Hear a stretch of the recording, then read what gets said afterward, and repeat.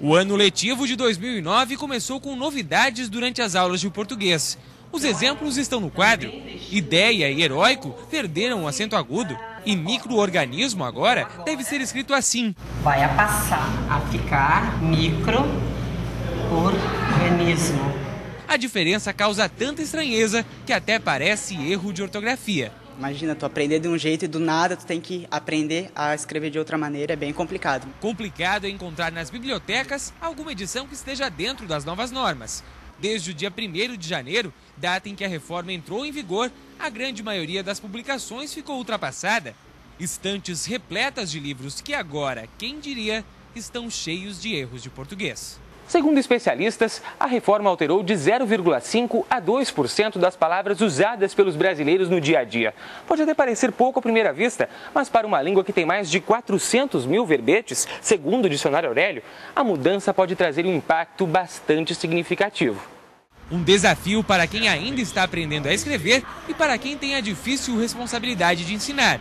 Imagine-se na pele de um professor do primário, como dizer às crianças que elas devem pronunciar o som do U em palavras como sequência e quinquênio, por exemplo, agora que o trema não está mais ali? Nós, professores, vamos precisar né, reestudar toda a gramática para poder trabalhar com os nossos alunos. A gente tem que encarar, a mudança está aí e eu tenho certeza que a gente vai é, conseguir.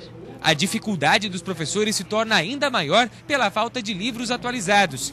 As escolas públicas que já contam com material didático revisto, de acordo com a reforma, ainda são minoria informação confirmada pela própria Gerência Regional de Educação. Demora um pouquinho, a gente sabe, até porque custa, né? E a gente sabe que toda mudança sempre gera um desconforto, né?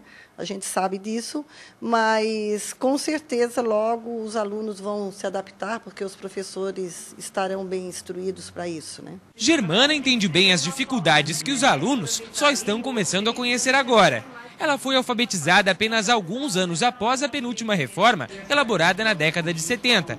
Durante muito tempo, foi obrigada a conviver com duas formas diferentes de escrita. Peguei vários livros com grafias ainda como eles, com acento, flores com acento, é, elefante com, com PH. Isso me deixava uma coisa meio dúbia, deixava assim, qual certo, qual errado. Mas a jornalista acredita que a diversidade não foi obstáculo para o aprendizado, tanto que hoje ganha a vida justamente trabalhando com as palavras.